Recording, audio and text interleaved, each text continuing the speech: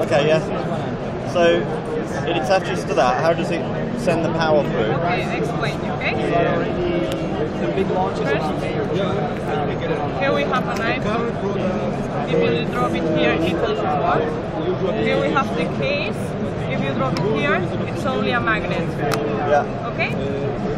If you if you put the, your iPhone inside the case, you plug, you drop your phone here and it works. Here we have a chip and another and a sensor. Here we have another chip and another sensor. When they are together, they share your mobile by wireless. The technology is the wireless.